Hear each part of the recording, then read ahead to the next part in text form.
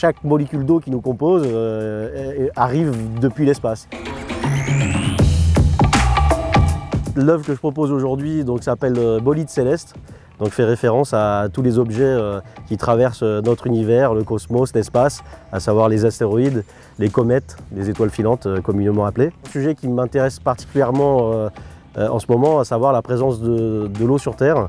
Et euh, donc euh, avec deux théories, euh, deux théories qui s'opposent, à savoir une présence du Big Bang, depuis Big Bang, et une présence extraterrestre, une arrivée extraterrestre par le biais des comètes en fait, qui sont les véhicules de, l'eau sur Terre. L'idée était de représenter cette arrivée par le biais justement de, cet événement, de cet impact sur la Terre. C'est une pièce que j'ai réalisée en pleine canicule, donc en plein stress hydrique, et il faisait pas loin de 50 degrés dans l'atelier. L'idée c'était d'avoir une pièce en inox, donc forcément elle va résister euh, à l'oxydation, euh, donc euh, à la pluie, et, elle nous survivra toutes.